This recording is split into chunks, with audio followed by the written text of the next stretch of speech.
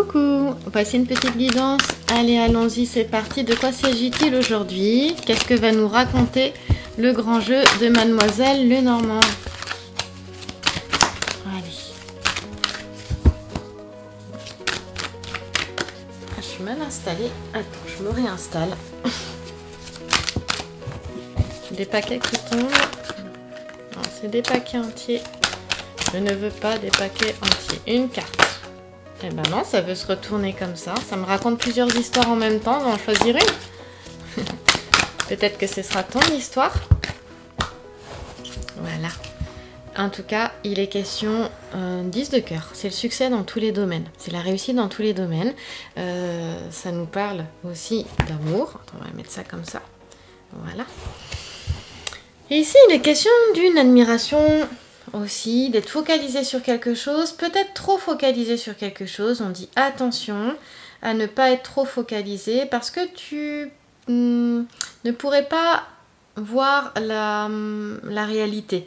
En fait, quand tu es trop focalisé sur quelque chose, tu, tu, réduis ton champ de vision hein, quelque part et euh, tu ne vois pas ce qu'il y a à côté. Attention à une, à une admiration euh, qui serait un peu excessive aussi également avec notre 10 de cœur. Et notre 10 de cœur, il nous dit aussi avec Fortuna Minor de euh, profiter du moment présent, des opportunités qui se présentent à toi, qui ce sont des petites chances, Fortuna Minor, sa petite fortune, la petite chance, qui voilà, ça passe mais ça se représente pas en fait. Hein. C'est voilà, cette chance, tu l'as qu'une seule fois. Euh, en tout cas, des questions d'enthousiasme ici. Hein. c'est la, carte de l'enthousiasme. Ici, il peut y avoir un nouvel amour aussi ou quelque chose, un nouveau projet qui démarre et t'es es, vraiment en joie, t'es excité, euh, t'es enthousiaste. Euh, à voilà l'idée de démarrer peut-être quelque chose de nouveau. Alors l'admiration peu excessive, c'est le langage floral, ce ringard rose de mes violettes qui nous en parle. Et en tout cas, il est question de quelque chose, je te parlais de quelque chose de nouveau qui vient, qui est là, parce que la constellation de la coupe nous en parle. D'ailleurs, le 10 de cœur, tu peux le ramener au 10 de coupe si... Euh, tu connais le tarot traditionnel. Donc, euh, Fortune Minor, c'est aussi quelque chose qui est favorable pour toutes les questions matérielles. Hein. Donc, attention à trop d'enthousiasme, euh, canalise ton énergie. Hein. Euh, on peut parler d'un amour qui rend aveugle aussi, ici. il est question de, voilà, de canaliser un petit peu pour voir les choses telles qu'elles sont, vraiment. Hein, et pas à travers cette, cette, cette joie débordante tout est question d'équilibre ici. Hein, voilà. Euh, donc, il est question aussi de prendre tes informations au niveau professionnel euh, par rapport à tout projet que tu aurais, tout investissement, engagement dans lequel tu as envie euh, d'aller. sur une thématique, un sujet, prends bien toutes tes informations Regarde bien tout ce qu'il peut y avoir autour. Si tu es trop focalisé dessus, tu vas pas voir ce qu'il y a autour. Et euh, ça t'évitera bien des difficultés et ça te permettra de voir ce qui pourrait éventuellement bloquer les choses. Hein. il y a vraiment cette notion-là. Euh, au niveau, je reviens au niveau sentimental parce qu'il y a cette notion, quand l'amour en aveugle, on voit que les qualités de la personne. Euh, ça, je pense que c'est important de le dire. Et, euh, les mérites de la personne, mais il faut aussi euh, regarder ce qui te plaît moins et, l'accueillir et l'accepter aussi. Hein. C'est-à-dire, on, accueille les défauts, les faiblesses autant que, autant que les qualités. Hein. là, ça nous parle de ça. Voilà. Mais euh, j'ai envie de dire, euh, c'est super d'être dans cet état d'esprit-là qui, est joyeux, qui est. En fait, ici, j'ai des personnes qui vibrent ici. Euh, mais attention, des fois, quand ça fait un moment que tu n'as pas vibré, tu peux être, ça peut être débordant, ça peut être trop, ça peut être too much, et on te dit de prendre du recul et de, de voilà, de mettre les choses, chaque chose à sa place, hein, de, remettre, de remettre les choses à leur place en fait. Voilà. Donc, on continue. Oui, voilà, parce que tu pourrais bien être trompé D'accord? Ne pas voir venir, tu vois, c'est notre cheval de, de 3, ne pas voir venir les choses. Mais t'inquiète pas, il y a une belle protection, tu as Jupiter avec toi. Donc, euh, il y. Ouais, n'y a pas de souci. Donc on te dit attention à pas euh, voilà, tout voir, euh, tout voir avec des lunettes roses. c'est bien d'être en joie, garde ta joie, ton enthousiasme et canalise. Canalise là parce qu'on pourrait bien, tu pourrais bien te faire avoir sinon. Hein. Il y en a qui pourraient bien en profiter avec ce cheval de 3. C'est quelque chose qui vient, puis tu le vois pas, tu le vois pas arriver en fait. Hein. Donc euh, attention à la tromperie, attention à ce qui est faux. Euh, mais avec Achille qui est sur son cheval, un petit sujet. Avec Jupiter, euh, il est question de volonté, d'autorité. Il n'y a pas de souci. dans le domaine professionnel, il y a une confiance qui, en fait, cette, joie, cet enthousiasme, ça te permet d'avoir confiance en toi. C'est pour ça que je dis garde-le, mais canalise, mets les choses à leur place. Et utilise ça justement pour, pour t'élever comme un tremplin. Euh, donc c'est cette confiance en toi et, cet optimisme que tu as va te permettre euh, de réaliser ce que tu souhaites dans le domaine professionnel, d'avoir un avantage euh, bien, bien important, surtout peut-être avec l'amorosité ambiante. Le fait d'avoir confiance en soi et d'être optimiste, ça peut vraiment aider et ça te permet de trouver une certaine tranquillité d'esprit aussi. Au niveau sentimental, ici, même si par exemple euh, il y aurait des, soucis, euh, il y aurait quelque chose qui ne fonctionne pas, euh, on voit très bien que là j'ai affaire à quelqu'un vraiment d'optimiste en, ce, moment et qui a décidé de voir le verre à moitié plein plutôt qu'à moitié vide. Et ça c'est bon parce que ça permet à, la relation sentimentale d'avancer parce qu'elle est, elle est vécue toujours avec optimisme en fait. Hein. et les échanges du coup sont beaucoup plus joyeux. Hein. voilà. Ça, ça nous parle de ça. Donc, euh, ici, on te dit de, voilà, de, je dirais d'être sur tes gardes, oui, mais dans le sens de, voir les choses telles qu'elles sont réellement, de, prendre du recul, euh, même si tu sens une énergie débordante, une joie qui t'emporte comme ça. Hein. Attention à pas être euh, justement sur... Ouais, avoir une, admiration pour quelque chose, pour une situation ou quelqu'un euh, qui serait euh, qui serait pas à sa place, qui serait exagéré en fait. Hein. Pour que tu puisses voir les choses telles qu'elles sont. D'ailleurs, euh, si tu pourrais avoir une admiration pour une personne, on te dirait ouf, attention. Bon, t'es bien protégé, il n'y a pas de souci. Le fait que tu vois les choses de manière optimiste, de toute façon, ça te permet toujours de transformer la situation quelle qu'elle soit. Mais attention quand même. Voilà. ici, on voit bien hein, que Viens encore doublement faire attention pour éviter les chagrins, les tristesses avec ce set de pique à ta droite. Euh, parce que bon, quand même, quand on regarde notre petit, euh, notre petit sujet de gauche qui est tourné vers le, vers le centre, eh bien, il peut y avoir, même si on a Vénus en talisman ici, euh, on parle quand même, bah, voilà, on voit des, disputes, euh, des, des, mésententes, euh, peut-être des malentendus aussi. C'est pour ça qu'on a Jupiter, on a, la, on, a la protection ici qui te dit, oui, mais c'est vécu avec optimisme, donc tu as la possibilité de transformer ça. On l'a vu avec notre carte centrale parce que c'est quand même ça qui compte, hein, c'est le sujet central qui compte beaucoup ici. Euh, il est toujours question de volonté, on a la volonté avec Jupiter, mais on la retrouve aussi avec la constellation euh, du bélier. C'est pas du bélier, c'est l'alpha du bélier. Voilà. Mais du coup, on se retrouve en bélier là. Pour le coup, on a une petite info sur le temps.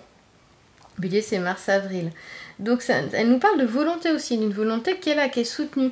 Hein. donc euh, dans le domaine sentimental, il y, a, la protection, il y a Vénus, mais puis il y avoir une grande sensibilité, une grande émotivité aussi. Et là, euh, oui, il est question de ça, avec cette, cette grande admiration, cet enthousiasme débordant.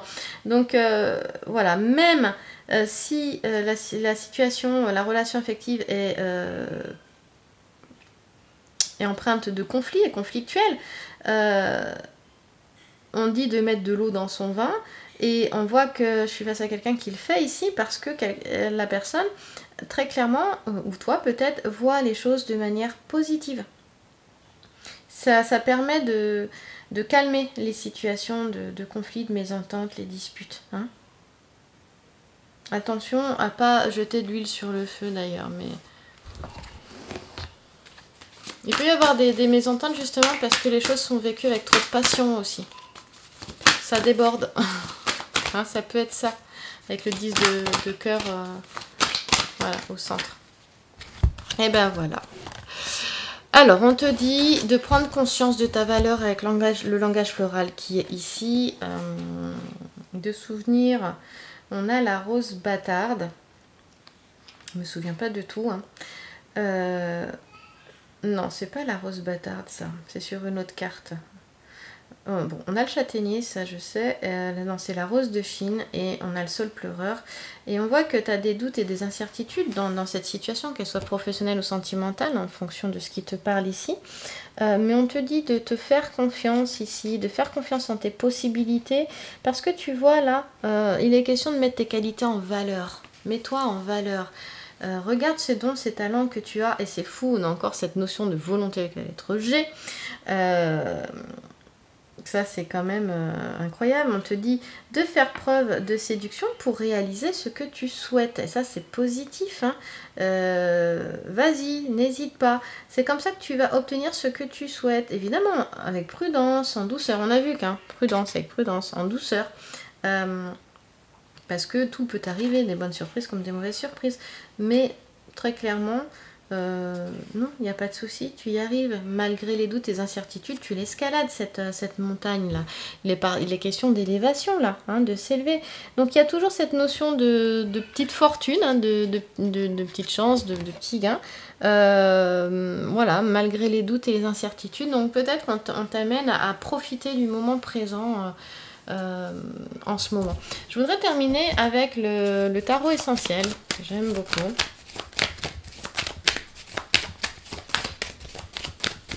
Allez. On parle de quoi notre arme essentielle là? Alors, j'en ai deux. Peut-être à chaque fois je le mets à l'envers, mais. Alors, j'ai la source. Hmm. Ensuite, donc ça, ça nous parle du consultant, de la consultante ou de toi. Ça, c'est ce qu'il y a à développer, voire à aller voir, à améliorer ou à travailler. Donc, euh, Là, très clairement, il y a cette notion de découvrir tout le potentiel qui est en toi et ça rejoint très clairement euh, la carte du 7 de trèfle avec le dieu Pan qui s'est transformé en Capricorne pour fuir le grand géant où on parle d'élévation, de s'élever, mais aussi de grâce euh, à son pouvoir de séduction. Ici, c'est ça, c'est vraiment aller, regarde le potentiel, les dons, les talents que tu as en toi. Hein, c'est vraiment en résonance avec cette carte-là.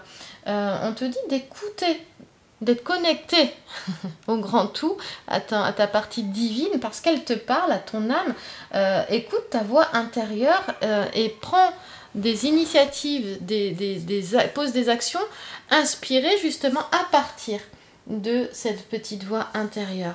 Et donc, il y a du coup, une fois que tu es inspiré, eh bien, on passe à l'action, naturellement. C'est le chariot aussi, c'est l'énergie du chariot. Euh, ici, c'était le battleur, le 1, euh, si tu connais le tarot. Et là, c'est, on te demande de passer à l'action. Là, peut-être qu'il y a une certaine passivité. On te dit d'avoir, voilà, de faire preuve d'initiative. On reparle de volonté encore une fois ici, euh, d'agir avec de l'énergie. C'est comme ça que tu réalises tes objectifs. Et c'est drôle parce qu'on te dit d'avoir de l'enthousiasme. Et on parlait vraiment d'enthousiasme tout à l'heure avec cette carte-là au centre. Donc euh, cet enthousiasme, il est à, être bien posé euh, au bon moment, peut-être avec, la bonne situation, peut-être avec la bonne période. Euh, et peut-être que c'est un, enthousiasme débordant que tu as à l'intérieur, tu sais pas quoi en faire, bah, canalise-le et utilise-le pour poser des, voilà, des actions, faire preuve d'initiative ou créer quelque chose en fait. Hein. Voilà, c'est ça. Mais là, tu es inspiré. Très clairement, c'est par euh, de voilà d'actions inspirées. Et puis ici, eh bien, euh, voilà, la, la conséquence, eh bien, on va voir tout de suite de quoi il s'agit. C'est la justice, c'est savoir être juste envers toi-même, ne pas te mentir, euh, utiliser ton libre arbitre. Donc, écoute-toi, écoute-toi. Et là, tu as du coup la maîtrise de la situation avec le 4. Le 4, c'est un chemin qui, est lent, qui se construit pas à pas, étape par étape, mais quelque chose qui est constructif pour l'harmonie, la stabilité, quelque chose de durable. Ici, on va te dire d'écouter encore une fois ton intuition et de, voilà, parce que ton intuition, ton intériorité va te donner encore une fois l'énergie euh, pour pouvoir réaliser et déployer tout ce qu'il faut euh, pour réaliser ce que tu souhaites, pour concrétiser eh bien, tes rêves, tes envies, tes désirs. Écoute-toi à l'intérieur, fais le trait d'union entre ton intuition, tes rêves et toute l'énergie qu'il te faudra pour réaliser ce que tu souhaites. Et c'est bon, ça marche, ça fonctionne.